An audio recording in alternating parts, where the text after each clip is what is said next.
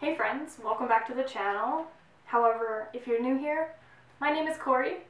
Today's video we're going to be deep diving into how I make my stencils. I really like to utilize this kind of DIY in special cases when I can't find the desired patch that I would like to put on my garment. Or if you have a very funny shaped panel, you can make it the exact size that you're looking for so it'll fit perfectly. Let me mention that this is not a new form of DIY. This is not a DIY created by myself in particular. I was actually inspired to do these stencils by my best friend Jake Makin. He's a fantastic, fantastic DIY king. He is so good at making things from scratch. He amazes me all the time. So he kind of showed me a couple different stencils that he had made in his past. He has used all sorts of mediums from, I think even once he used a uh, old milk carton that's plastic to make these. He didn't suggest it, he said it was pretty thick plastic, but he has done it, and that really inspired me to learn how to create these, and that's why I'm coming to you guys today, is because I think I finally have it down to a science. So, what are you gonna need? Not too, too much. I feel like this is a pretty basic DIY. It doesn't take a plethora of things. The, the big one, the one that I use constantly, is a computer screen. I was so blessed to be able to purchase a hand-me-down Mac desktop, so I do have quite a large screen to work with. If you do not have a large computer screen to work with at home, I do suggest maybe hitting up a local library. A lot of libraries are really cool with you using their computers. However, you do want a screen that's going to be large enough to fit the entire stencil across. I personally use an old cutting board. It's just one that broke in half by chance in my life, so I turned it into my DIY cutting board. You're also going to need some tape which I personally just use the painter's tape because it is non-abrasive, it leaves no residue, and it peels off like a breeze. Some acrylic paint is key. I don't think it matters what brand you use. I have a cheap one and I have an expensive one. They both seem to work the same. Doesn't really matter, just get your butt down to a craft store and buy some acrylic paint. Here's the kicker. You need some glue. However, I want to stress that using a glue that is going to remain tacky is very important. And tacky just means sticky. So I want you to know how important it is because if you start to glue your patch on one side and you get to the end and it's already dried on the other end, you're not going to have a good time and you're not going to have a good seal. So personally, I know it sounds wacky and out of this world, but I used it once and I haven't gone back because it works so good. Probably a bit of an expensive option, but I use my old eyelash glue. It just remains tacky for eternity. Also want to make sure that the glue that you are using does not leave residue on your clothing. That's another big one. The way to make sure that happens is not to stick down your stencil until you really know that the glue on the back is tacky, not goopy.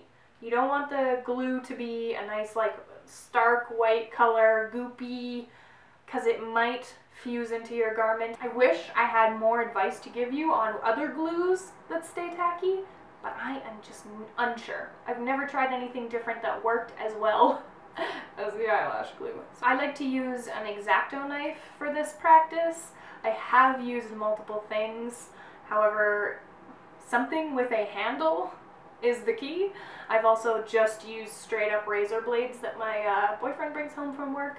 However, you don't really have the dexterity or the precision, and it's also very dangerous. So, X-Acto knife is the way to go. I like to use a sponge to apply the paint because I find that it gives a very, very nice even coverage. I like to hang on to my old beauty blenders because once they have kicked the old dusty trail and I've been using them for far too long, they work really well for crafts. However, there are sponge tip applicators at most craft stores, so you could use that as well.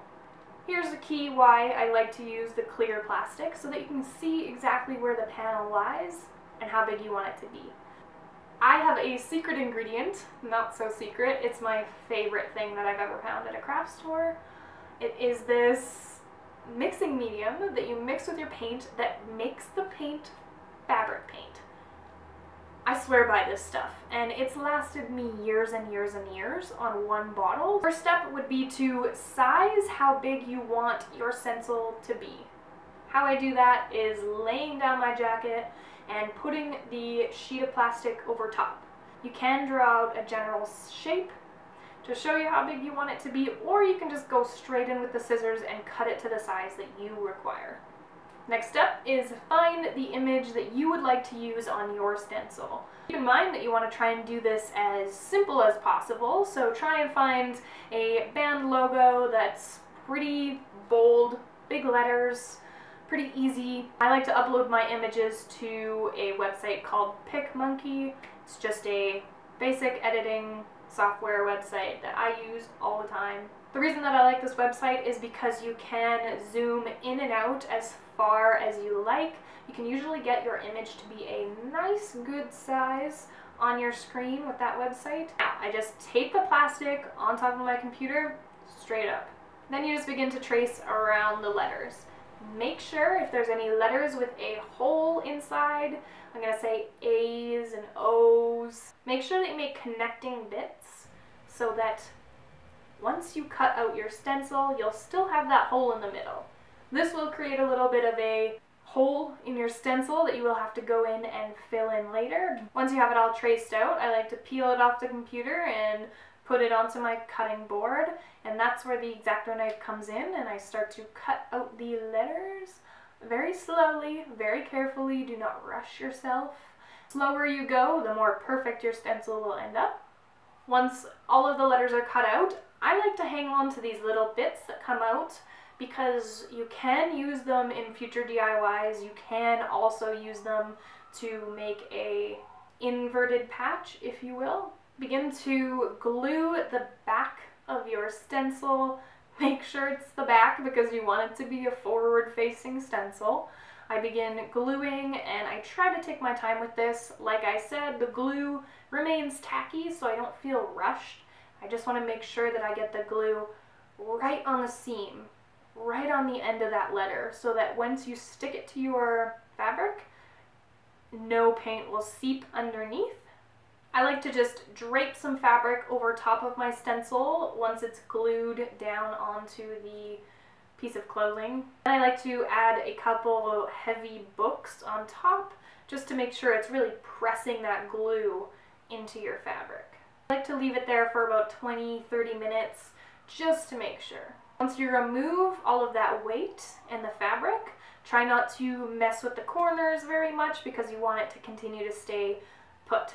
And now I start to mix the fabric medium into the paint just to make it so that it fuses itself into your garment and stays for a very long time. I've done it with and without the medium.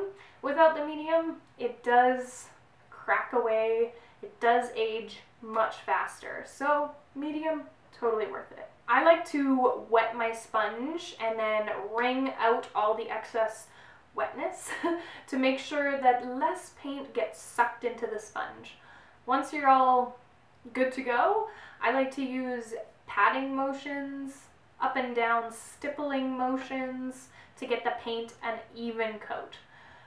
Every time I finish a letter, I go back to the beginning of that letter and do the second coat right away. I don't wait very long for it to dry. I just like it to be one and done, each letter. First coat, second coat, boom, move on to the next letter. Found that if I do the whole patch and then I go back for a second coat, the peel off is not quite as satisfying. And the moment that you've been waiting for, that peel, oh, so satisfying. I love it.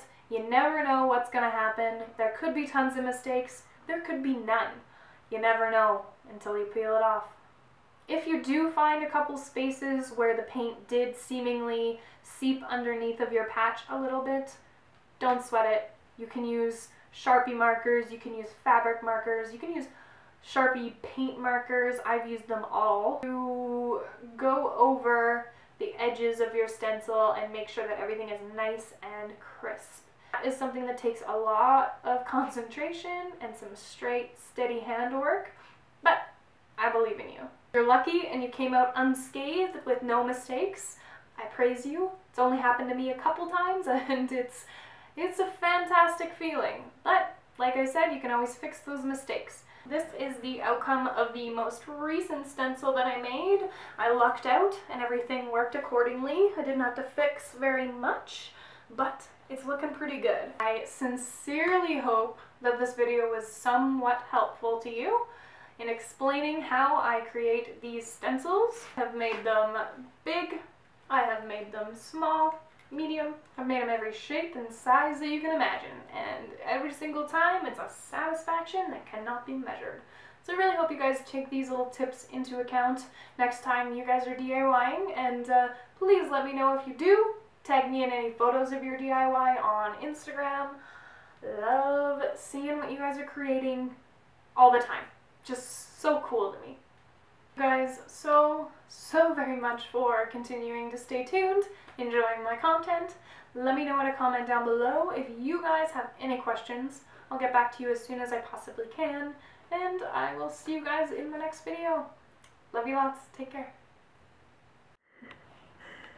So a lot of you have been asking about my skincare routine. Am I a YouTuber now? Yeah, that's what we do. Except for me, I don't talk about shit. Something about skincare.